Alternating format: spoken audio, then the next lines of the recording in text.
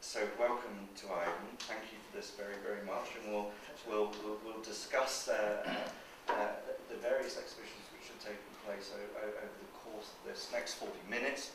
Um, but just to add that uh, I, I, have, from my own experience, um, found the Freud Museum to be one of London's truly great secret museums. Um, it's run in a, in a brilliant way, I feel, and I've always enjoyed any time that I've spent there, both as an audience, uh, a member, and a part, just someone making my way about the Freud. But I've also been fortunate to, to work on one, one, one or two projects, and one of them was with an artist called Ellen Gallagher, uh, an American um, uh, artist who um, was uh, obsessed with the story of uh, uh, what's called the Middle Passage, where um, black slaves have been known to be thrown overboard in, in the days of uh, slave trading. Um, uh, during the middle part of the passage, it was uh, the case in her, in her imagination that these corpses would develop and merge and mingle with sea life, and that the sea life would develop the features of uh, and characteristics of uh, certain Africans. And the long and short of it was that we went to meet Ivan and Michael, um, whom Ivan was, and we and, and, and I said, well, I hope in this meeting there might be a connection between um, Ellen Gallagher, who's here with us, and Freud. And I think you asked, uh, Ellen, what, what, what kind of work do you make? And she said, well, I'm doing highly detailed drawings of sea creatures, at which point I immediately got up and said, eel testicles, and went to a box where he then removed some of Freud, Sigmund Freud's earliest drawings of these articles. And it was extraordinary to see because he had studied in Trieste and he'd looked at certain um, biologies, and this became incredibly important to his studies. Uh, but maybe we'll, we'll come back to that later. But my first question to you, Ivan, is just to say, how, how long has the Freud been engaging with artists and artist show?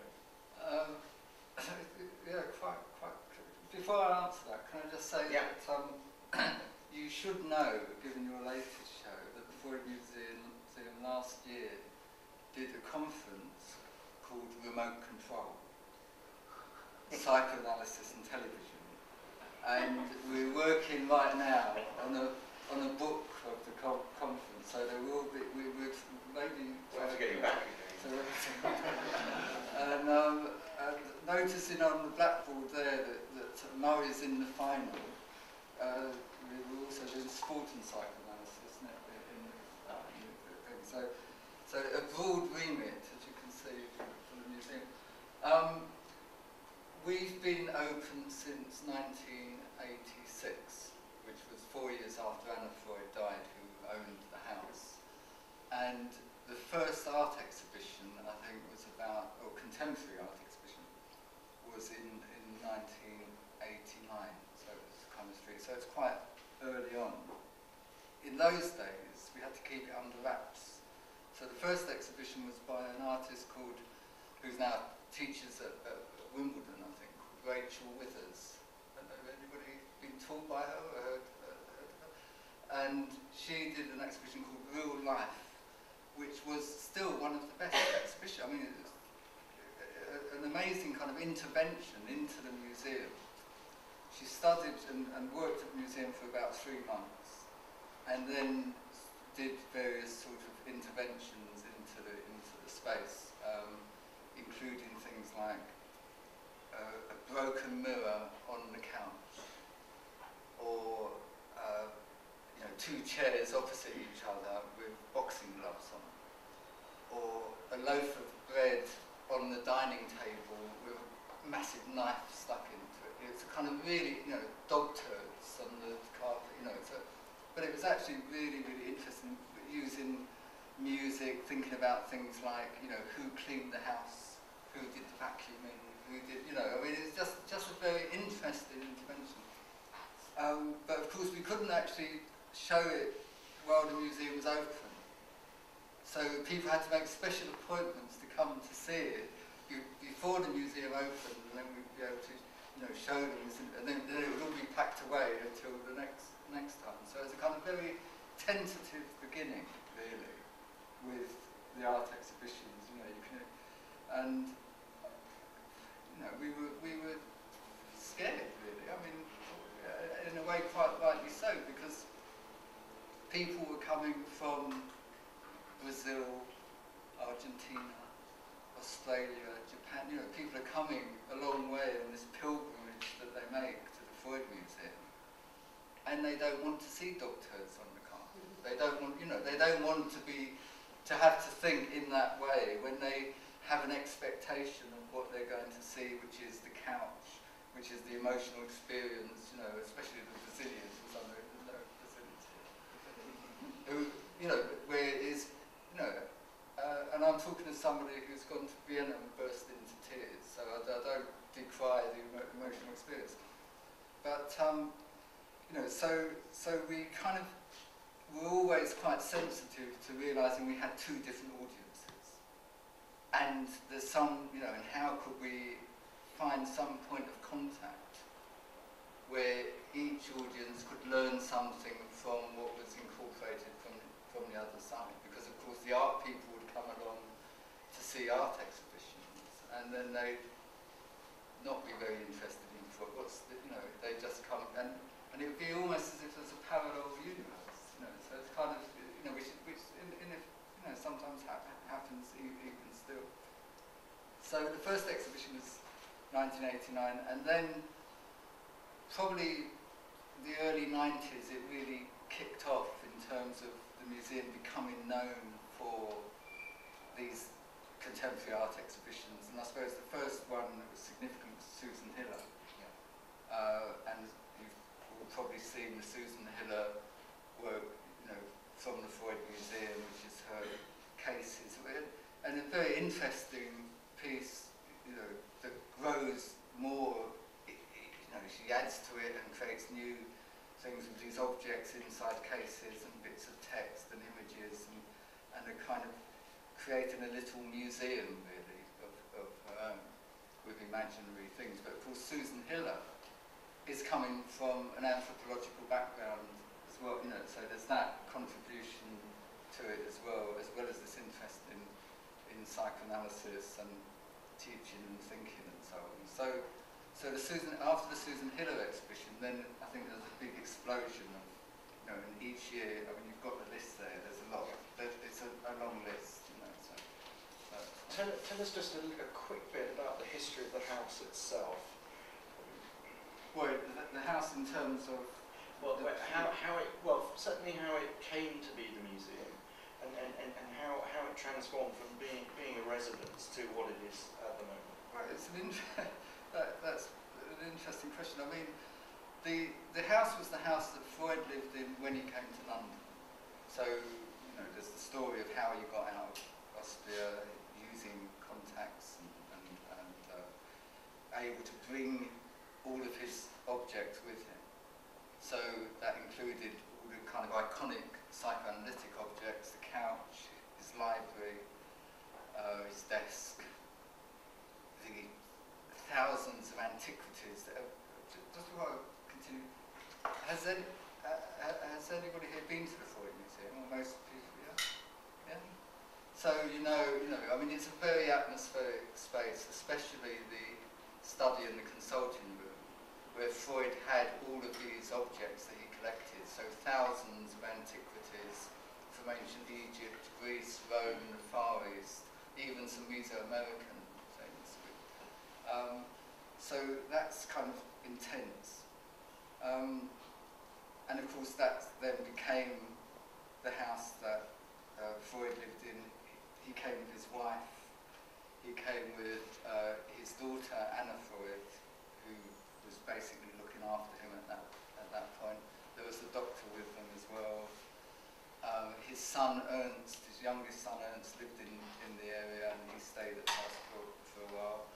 His wife's sister, uh, Minna Bernays, she also lived with them. And She lived with them since she, you know, her early 20s, I think. Uh, the housekeeper, Paula Fichtel. So it's kind of quite a full place. And then, of course, gradually, one by one, you know, Freud first, and then Minna, and then and then Martha, his wife, and you know, they died off. And, and in the end, by 1982, when Anna Freud finally died, it was her and the housekeeper in this massive house, you know, and of course it was quite dilapidated and so on. So Anna Freud had left it to become a, a museum, and she'd left it to uh, an American foundation called the Newland Foundation, which was a family foundation run by uh, a woman called Muriel Gardiner, who was also a psychoanalyst, so, and, and somebody who'd written about one of Freud's famous cases, the Wolfman. So she was kind of a connection there.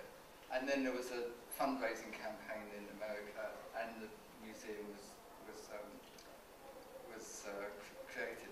In terms of how the house gets turned into a museum, of course, decisions are made.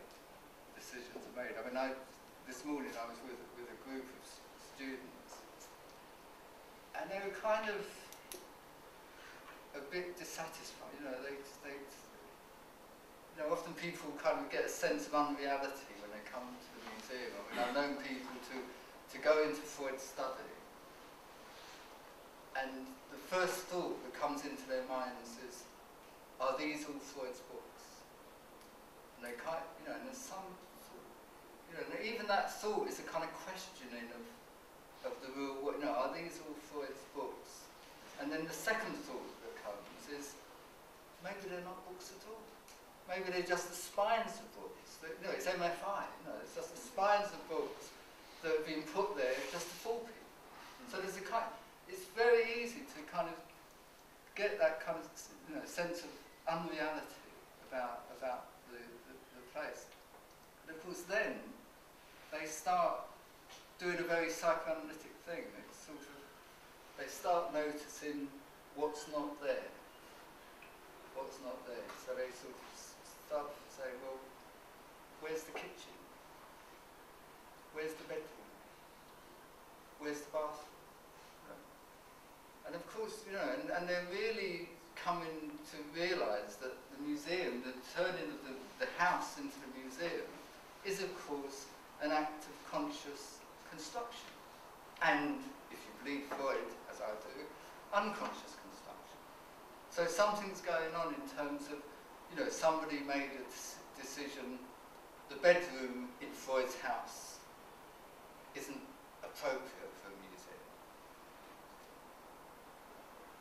Who would think, you know, that Freud, who, whose first major book was The Interpretation of Dreams, you know, who wrote about sexuality all his life and thought that was so important, that the bedroom wouldn't be in focus, you know, but somebody made that decision, so the bedroom was pushed out.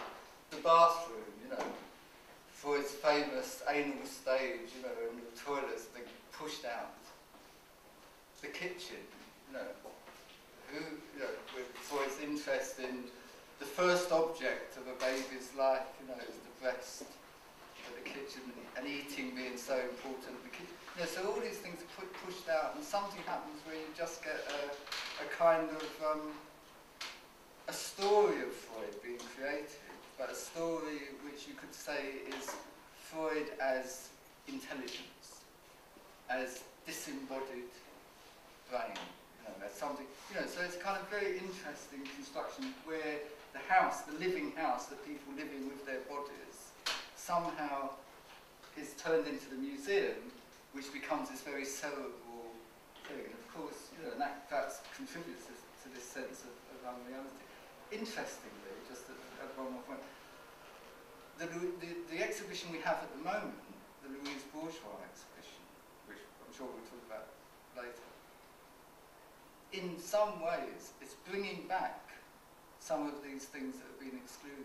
Because Louise Bourgeois, who's a very kind of difficult artist in lots of ways and quite abstract, but there are these sort of human organic forms, you know, the breast, the phallus, the mouth, the, you know, the, these things which are part of her work, which are coming back in the museum, and it's as if, you know, the, the exhibition is called The Return of the Repressed, but it's, but I, you know, in one notes that we've got in the museum made the point, maybe it's the return of the repressed of the museum to bring back these aspects, you know, so we feel it's a real good contribution in a way to, the museum. We should, we should certainly come on some, maybe some images of previous shows by well-known artists or not so well-known artists, but there is that great thing about the Freud of that sense of everything is, is permeable. It's somehow very soft security. I mean, a, a, a, a, rope might just be between you and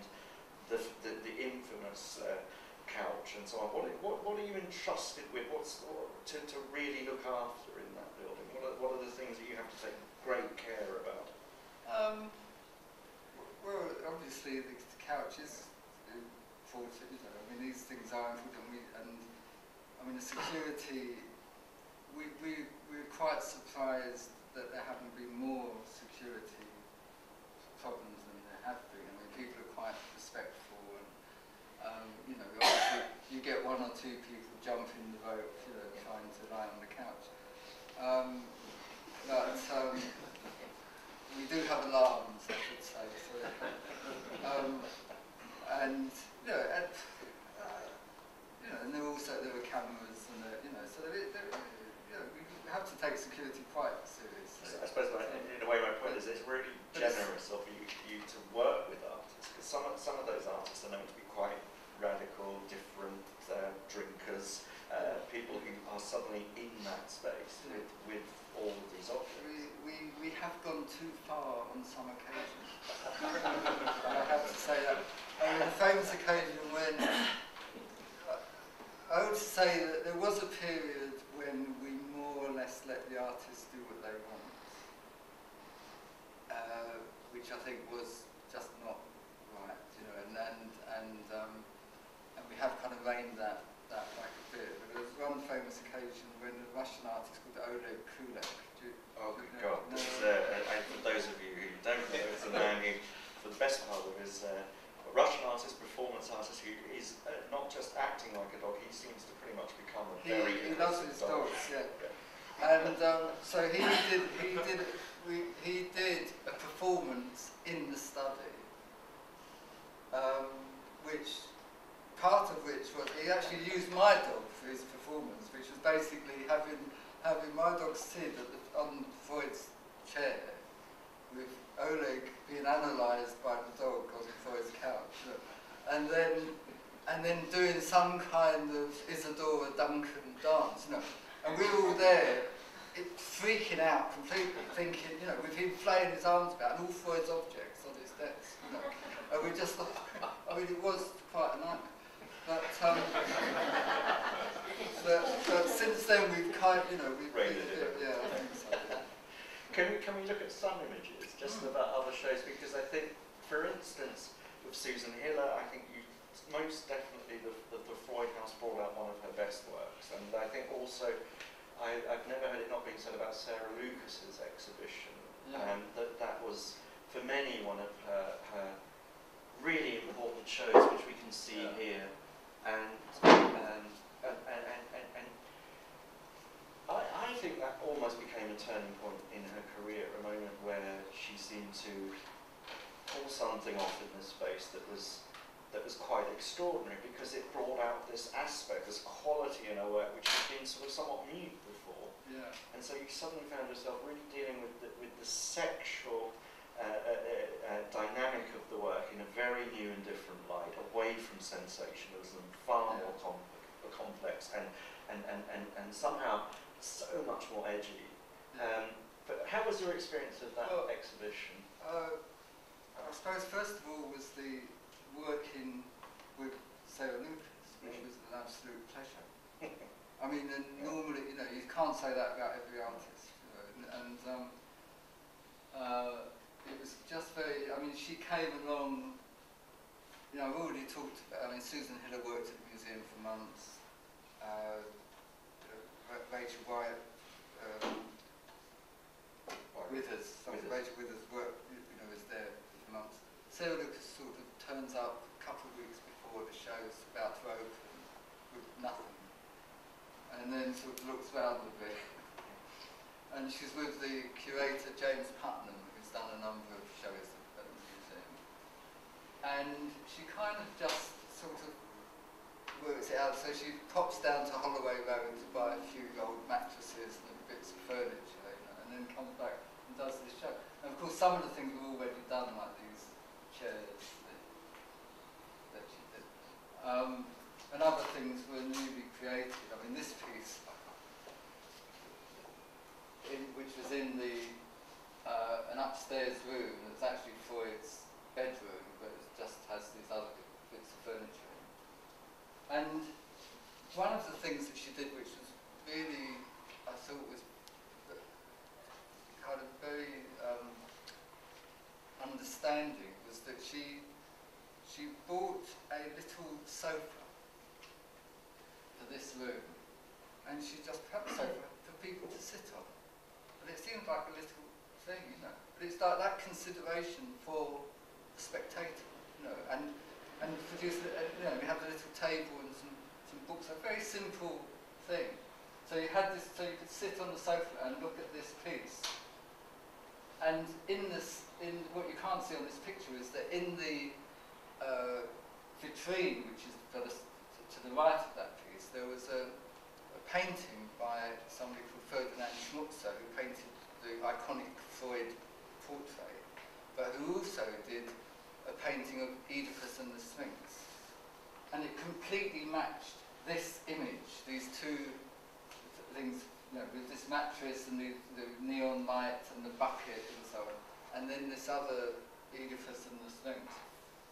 Uh, it just worked really, really well. And even above the couch, I mean, when you talk about that kind of complexity of sexuality and, you know, you, the, the sort of fantasies that you imagine people would be talking about on the couch, and to have that image of her with the, with the moth-eaten t-shirt and conveniently moth-eaten just when the nipple showed, you know, and that, but it was perfect, I mean, it was beautiful, you know, and it really, really worked, worked well.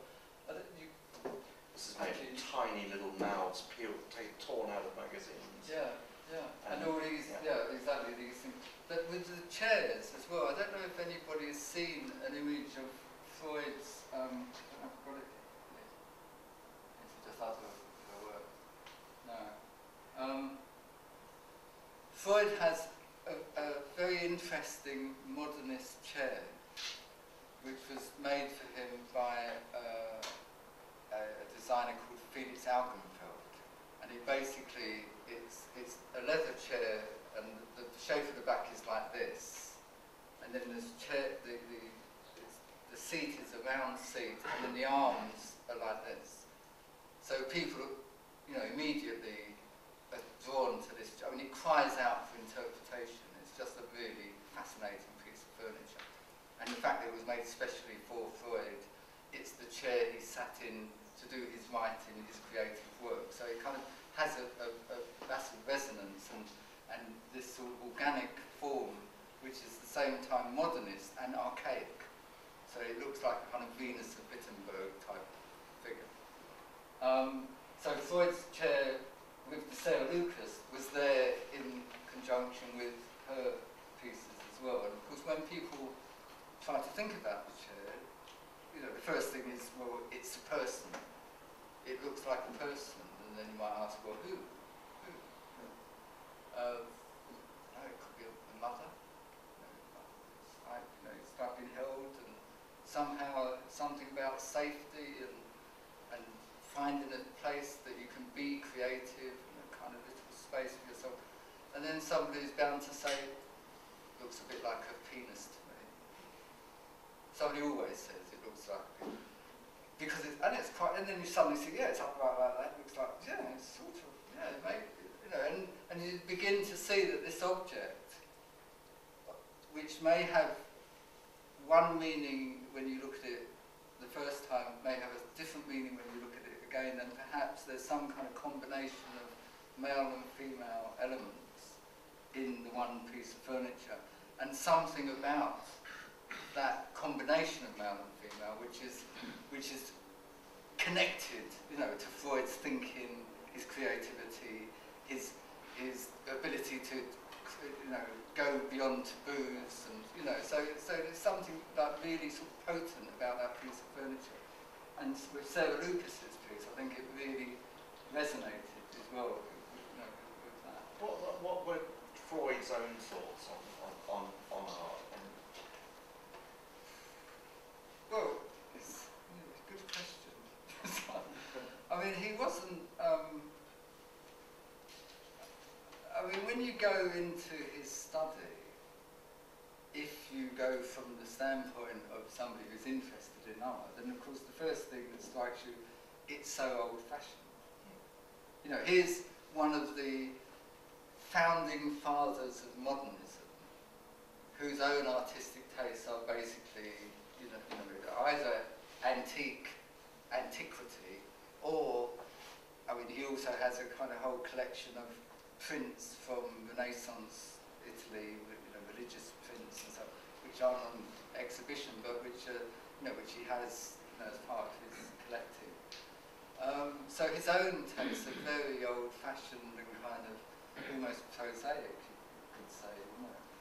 um, on the other hand, he, you know, he was one of the people who, when he's talking about creative writing or creative, you know, he's developing theories which, of course, are modern and you know, and are to do with you know what some of these artists you know are, are dealing with. So you know, whether he, um, yeah, it's a it's a difficult one. I mean, what did you what do you? Well, I, I I'm always struck by his his sort of basic collecting tendencies. I see him more perhaps in that camp than in uh, Yeah. being an original artist, as it were. But it's always struck me that hi- his relationship to Egyptology, which seems to be also quite fashionable for the time, Oh i- is, is an interesting one. So, what I remember once working with a German artist, Andreas Hofer, uh, who, who, who did a show with you, and, and Andreas had a huge collection. This is an artist in his in his, fort, in his forties, but he had a massive collection of toys, of um, superhero toys, Japanese style manga toys, and so on. And he went about integrating those next to very ancient Egyptian objects. And they did seem to speak a similar Oh, no, language. absolutely. And it was it was fascinating to see um, that type of interaction. I suppose that would be my next question, which is what, what artists just don't say no to Freud, do they? They just love the option of the show at the Freud Museum. Yes and no. I mean, the reason I say that is because there, there's a tendency. I mean, artists are they obviously want to be themselves, don't they? I mean, they, you know, and, and artists kind of, you know. So on the one hand, they want to show at the Freud Museum, and we get a lot of requests. We don't often commission, but we get lots of requests, so we kind of select. Um, uh, but on the other hand, they also want to take over. Yeah. So it's so there's a, there's a you know on one hand you want to get involved with Freud, but on the other hand you want to get rid of Freud. So it's quite an ambivalent relationship, and of course part of the kind of trick of curating or helping to curate artists at the museum is trying to find that kind of point of contact. You know how they can actually live with. You know how they can feed off each other and learn from each other. And of course, with Ellen Gallagher, Mm. that was amazing you know, because you know, Ellen Gallagher. I mean, what you left out of your story Mm. before was that Ellen Gallagher also went on an oceanographic trip Yeah. when she was a student, and she went and did oceanography and was studying little sea creatures, which she was drawing. You know, so she, you know, so she and Freud had this experience. And of course, she knew nothing about the Freud, and we knew nothing about her. You know, but of course, that connection between Freud working in an oceanographic laboratory in Trieste and. Ellen Gallagher having done this, you know, so and it's a kind of unexpected thing that formed this point of contact. So that part of Ellen Gallagher's exhibition could be Freud's drawings used as part of the exhibition. You know, so it's a kind of, Well, that was a kind of magical moment because I don't think in this case the artist even knew or was aware. Oh no, no, it's a complete surprise. I just went off and plucked out these amazingly intricate drawings. Actually, the drawings themselves reminded me enormously of Lucian Freud's drawings. And um, I've always wondered, did Lucian ever visit the, the Freud Museum? He, as far as I know, he never did. Yeah. I mean, Lucian obviously wasn't an easy person to. No. You know, he, he, he'd, um, as far as I know, he never visited the museum. It's funny to think of um, uh, these artists engaging with Freud um, and, and it being an almost e- egotistical clash of um, personalities. And very much what they have built up in their mind is, is the great um, the great Freud, and, and they do see themselves as well sort of matching up to it, which I quite I've often found is quite funny in that sort of monster from the id sort of Yeah, no. It's an interesting way to do it. Sorry, go. I was just going to ask if there ever any shows that you felt didn't work or you just thought this is just not connecting? Uh, well, well, yeah, there are probably some shows that I think did work, but, but um, and also shows which I thought did work, but where the artist was kind of, you know, a bit disgruntled, you know, let's say, and I particularly think of Matt Collishaw. You know, when Matt Collishaw came and he, he did what I thought was a fantastic exhibition. You know, he, um, I don't know if anybody saw. Uh, I don't know if I've got anything here. Um, he There was one room which was completely black and a projector moving around and flashing up images onto light sensitive material. So it was literally the after image or felt like the, the retinal burn of images. And you would be suddenly in a room, small room upstairs, I recall clearly, where there were quite sort of odd images of Victorian Yeah, I mean these, the, well these, very these difficult. images were images from, um, hysterical women, wasn't it? yeah, these Yes. are images that were photographs of, done by Jean-Martin Charcot, who was the great French neurologist who Freud studied with in Salpêtrière in, in Paris, um, and then, and learned a lot from, and, and this was the first use of the kind of medical use of photography, so it's kind of quite an important point. Uh, Matt Collishaw came to the museum, you know, we talked, he hadn't known about these photographs, but I'd seen his show at the Haunch of Venison, where he'd used the prostitute images of, fi- of ch- child prostitutes, Victorian ch- child prostitutes. And I'd thought of these images and thought how brilliant it would work in the Freud Museum. So he came and above Freud's couch there's also a print of Je- Jean-Martin Charcot giving one of his Wednesday lectures and demonstrating to you know, a, a group of doctors, you know, the, his power over hysteria really, with using a, a female hysteric who's hypnotised, she's swooning, he's, you know, a bit of a sexual imagery with the sort of, you know, the dress is sort of falling off and she's just falling. And this image, which Freud had above the couch, had above the couch in London, but not in Vienna, interestingly enough, um, became one of the kind of bases of, of Matt Collishaw's exhibition. Uh, and he called it hysteria. So he cut, you know, most of the things were working on these kinds of images around this idea of hysteria and so on. And then he had a, a, one of his zoetrope, which are the light.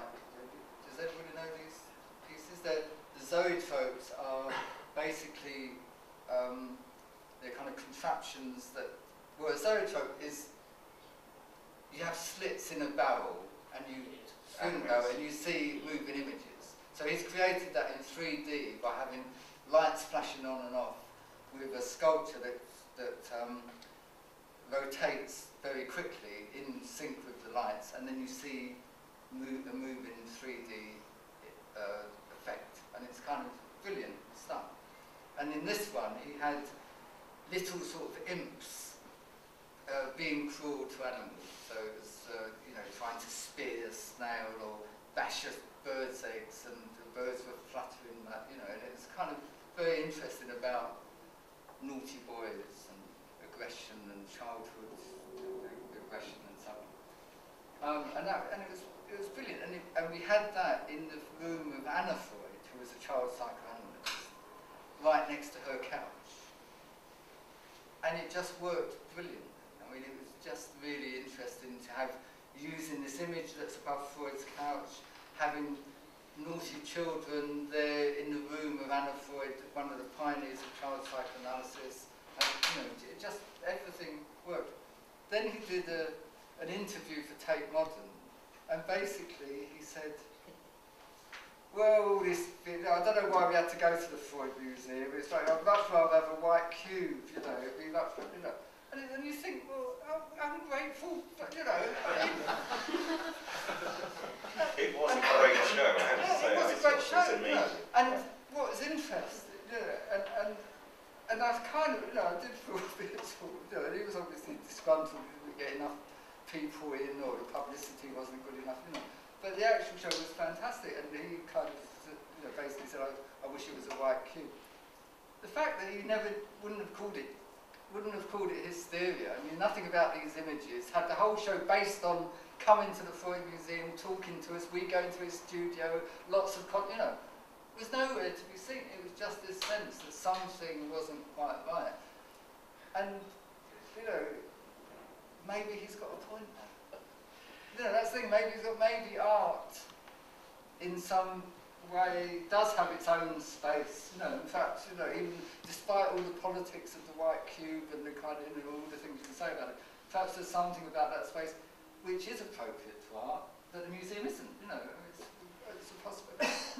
Question I wanted to ask was, um, I, I think one of the, I mean, apart from being this kind of incredible off the beaten path museum is that sense of what you guys do for the artists because um, I've experienced that firsthand in as much as that they may have an interest in Freud, whereas uh, I, I want to talk to you about your interest in, in, in Freud. But you have an absolute knowledge at times, it seems to me. Um, so an artist might talk a little bit about Freud, but you're able to pick things out.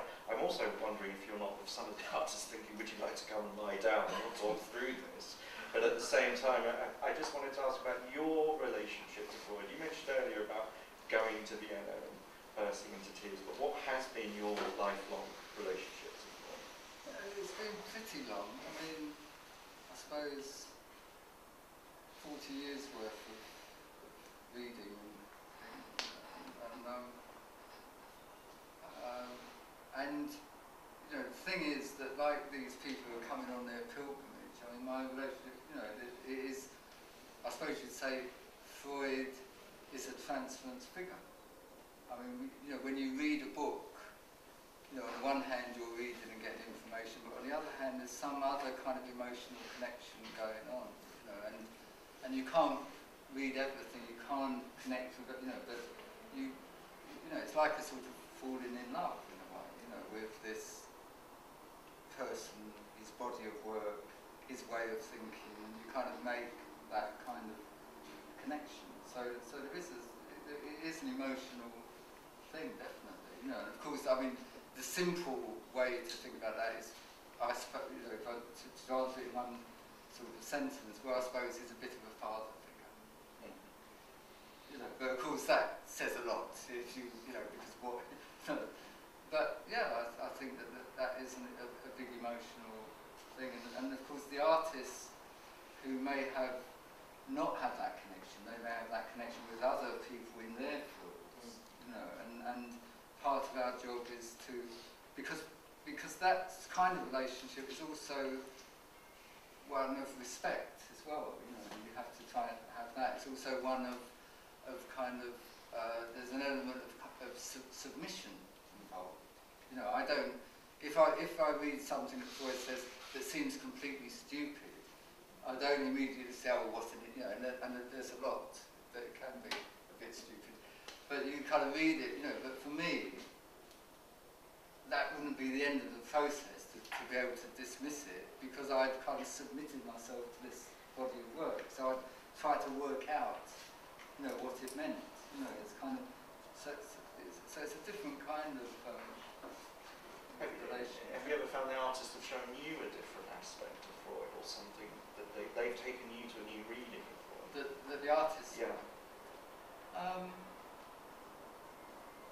that's a good question. Yeah, I can't. I mean, I'd have to think about it. You would have to have prepared me earlier. Tell us- tell us about your- um, Tell us about your latest show, because I know for you, Bourgeois has been an artist you've admired for many, many years. And I remember I, I, I said to you when at the opening, which uh, just opened recently, and I said you've landed the big fish, Ivan. Well done, because I know that's been a, a, a, a, really long-running interest. Tell me about the show. Well, the show. I mean, it, it's um. Yeah, I- I mean, obviously her work is of interest, and I don't. You, you may have already read a little bit about the and uh, it has the the core of the, the exhibition was supposed to be the writing that Louise Bourgeois did when she was in analysis. So, for you know, nearly 30 years she was in analysis, 10 of which it was four or five times a week. So it's intense analytic uh, experience. And during that time, as well as writing her diary, uh, she wrote about her analysis and wrote obsessively. So Louise Bourgeois, in a way, was almost as much of a writer as she was a artist, I'd, say. I mean, and there's a thousand pages of, of scribbles, you could say, that were found in a couple of boxes, uh, you know, a few years before she died. And that these were, you know, some of these selected, obviously, you, know, you couldn't do all of them, of selected by the curator Philip Larratt Smith, who was the literary, uh, what's his title? Curator, literary. Yeah, I mean, I, I, and he seems to be the emerging curator with, as it were, what could be the But he was actually brought on. I mean, he's been Yeah. working with the archive for ten years, Yes. and he was brought on for the for the text and Yeah. all the stuff. Uh, but he's now developed into an art curator as well.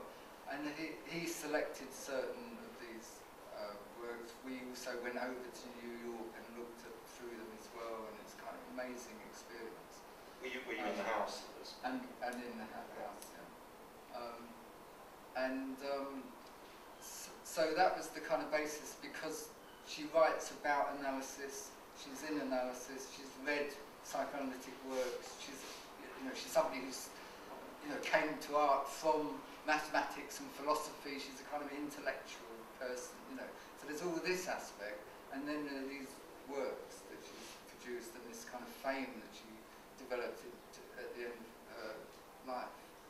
Um, so it's been, like you say, a big fish, hooking a big fish, but somebody who's, you know, I mean, th- this group I had this morning basically said, this is completely at home in the museum, this work. Is, you know, it, it just is married to the museum. In fact, fact, they said, we think that Louise Bourgeois should have met Freud and they got married. I just realised it's married to me. I mean, so they had this little fantasy, you know, this that, and it's true, you know, in a way, I could kind of see the point, you know, that, that you know, you can imagine, you know, I mean, and and there was a point when Freud came to London, he stopped off in Paris, just for one day, just a few hours really, to stay at, uh, waiting for his train, and he was at the home of Marie Bonaparte, who was uh, Princess Marie Bonaparte, who was Princess and the Bonaparte. And, um, and of course, they went on to London, and Louise Bourgeois left for New York in the same year, you know. So I imagine that they were in Paris at the same at the same time, the closest they ever came together, uh, apart from in the museum now, I suppose. Yeah. Well, as I say, uh, it's incredible what you do. I mean, just um, how, how, in a roundabout way, what what has the Freud Museum done for London, done for the artists? I mean, what, what's your achievement there? Uh, I think we were one of the. There's different circles of influence, aren't there? I mean, I think we were one of the first museums which started taking contemporary art seriously as something in the museum and which opened its doors to contemporary art in a way that was, that was itself quite open. I mean, that we allowed the artists freedom. We, we thought what we can learn from the artworks coming in. I mean, for instance, using in educational work school students and so on. Um, and, and the reason why we were able to do that is because of the intellectual connection between Freud, Freud's ideas, you know, dreams, dream symbolism, images, hieroglyphics that Freud studied, uh, automatic writing, free association, all, you know, these ideas that, that became part of the kind of artistic lexicon as well. Um, and so, so, and, and since then, there's quite a lot of museums who, who I think have basically started doing the same thing. I think there has been an influence within that small kind of museum sector. In terms of the wider art world, I, I don't know. I mean, you'd be better placed to. Oh, I mean, uh, you know, we have a bit of a reputation now, I think, and, and people kind of take us seriously.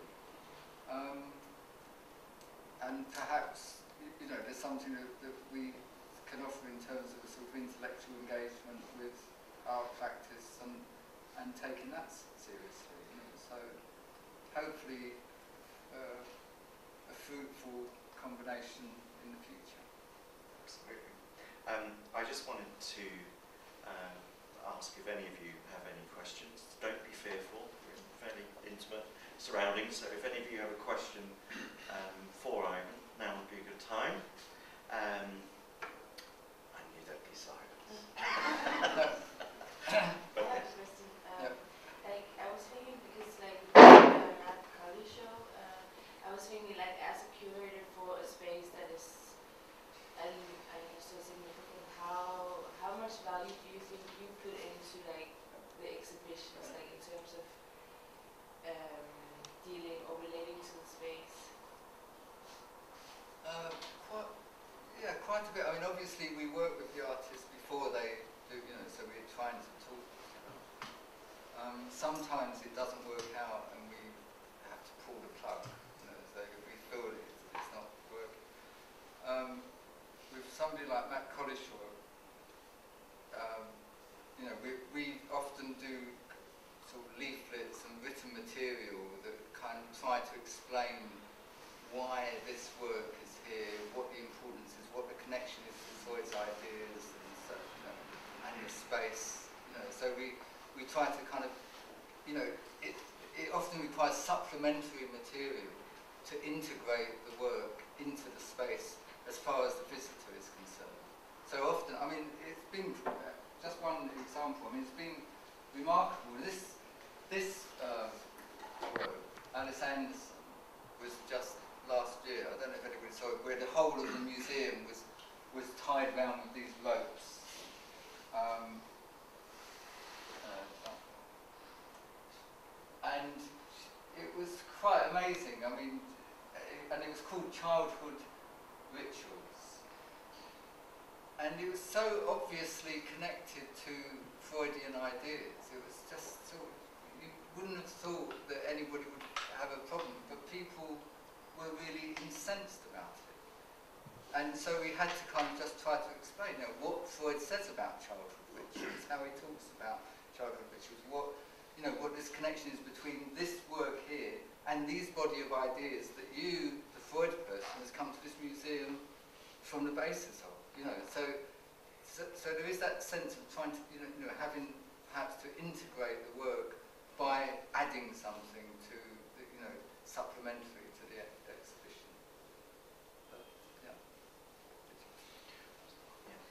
Well, as it happened, I visited the Museum my first, my, the first time this weekend, so it's all wonderfully fresh for me.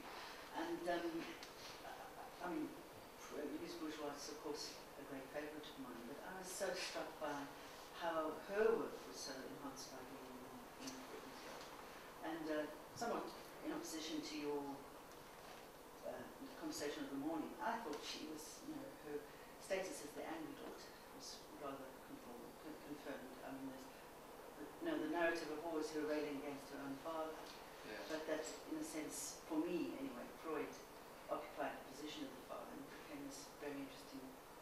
I mean, and, you know, it really heightened that, understanding for me.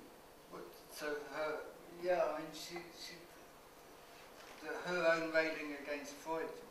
Not against Freud, but against the father. You know, that's, she's always been railing against the father, but to be, Yeah. in a sense, in the house of the father of psychoanalysis, Yeah. I found very poignant and, and, and really enriched the, her whole, my whole understanding of her work. Yeah. Yeah. No, And, and, the, and her achievement relation to, to Freud, yeah. that railing. Yeah, no, it's interesting. I mean, the piece that that um, uh, I mean, this is the one. This is an installation shot of the exhibition with, and it's the, the only piece that we put in the study in the consulting room, and it's Janus Fleuri, and and I mean, it's the. She often said it was her favourite piece, and she also called it a self-portrait. you know, and it's just the, such a powerful thing, you know, above and above the couch, you know, and kind of, I- you know, I'm sure, I, I doubt if Freud would have approved, but there's something quite appropriate about that, but, you know, this kind of form that speaks of the thing that became more and more important to Freud in his theory, which is the castration complex, you know, it speaks of that as a, and this thing, this anxiety at the core of being that Freud thought it was, you know, and somehow that seems to be an appropriate place for it. At the foot of the couch that you can't see on this on this picture, Freud placed an Egyptian death mask, which is also, of course, you know, you know, and both those things of this sort of relation, you know, seem to me really. Um, but of course, you could think of that as you, s- you know, as s- a railing against the father, but it's also something, you know, but there's also something quite poignant about that in terms of submission as well, I think, to, to the father. And this, mm-hmm. It makes it all more poignant. yeah. Great. Okay, one um, more question there. I was interested in, obviously, this tension between what this is as a museum and how an artist, a contemporary artist, engages with the objects. And I was very struck in your narrative, which is very good to hear. But so many times you use this term, what you allowed artists to do, or how Freud would have approved, or there, there seems to be a kind of underlying um, source of um, permissions, Yeah. um, which is, you know, something that obviously you as know, like when you know, like when your mum tells you when you're a teenager, this isn't a hotel, you know.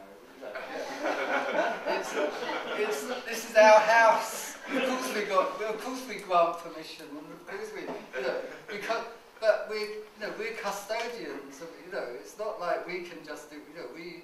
So the people who work in the museum, and who've been there like I have for 25 years, you know, we're custodians of that space. We can't just, uh, you know, of course we have to give permission, and we have to be the parents. But I think it, I'm really not talking just about the permission, what one could move around or um, how materially uh, this is all to be, you know, protected. But I, I feel there is some other, um, something else going on there, which is also a very problematic um, experience for an artist to work, in fact, with any museum, um, is to be absorbed into its narrative and how one resists that. And of course, you know, in that particular museum, it seems that obviously you will be very happy when this, what you call the marriage, is sort of consecrated. And yet, you know, for most artists, that's you- not necessarily Yeah, the best yeah. way Do you, do you mean, do we, do we um, try to affect art exhibitions in order to, for that exhibition to give some kind of credence to an idealization of Freud? Is that basically what you mean? Are we're trying to kind of, know, I mean, it's kind of yes and no is the answer. I mean, uh, it's probably, I'd be more guilty than anyone of that. But things like, you know, an exhibition by Stuart Brisley, who, who, who did, who's a performance artist but also a sculptor and so on. And he did an exhibition called the Museum of Ordure, which was basically, well, can't really say it in any other way, it's basically shit, yeah. Mm-hmm. And it's like tables and tables of shit everywhere. You know, now, a lot of people found that kind of, act- funnily enough, a lot of people found it quite interesting. but a lot of people did find that quite upsetting. As interestingly, though, of course, the reason why we would think that can that is a connection is because Freud had a, a dream once where he saw a piece of furniture, a piece of furniture which was the couch, covered in feces in various states of, of, of freshness. This is his dream, you know. And he uses the phrase, a whole museum of excrement. So, so we could, you know, there's a connection. there's a connection between Freud's Museum of Excrement and Stuart Brisley's Museum of Excrement that we could make. We're not there to, uh, you know, I don't think that's there to sort of idealise Freud, but it's there because that, you know, but, that there is actually a connection there, and people would find that interesting, you know, and, and something can be kind of, you know, between the two, something can be got for the art and something can be got for, you know, it's, so, uh, so, so I don't know, I don't know, I, I, hope we don't do, do that, but, but, um, but at the same time we have to also protect something. We have to protect something. I know that's not a complete answer well, we, we, will hopefully catch you in a bit, um, but just for now, um, thank you so much for coming down at such short notice and, and, and giving a really amazing, fascinating talk. So, Ivan, thank you very, very much.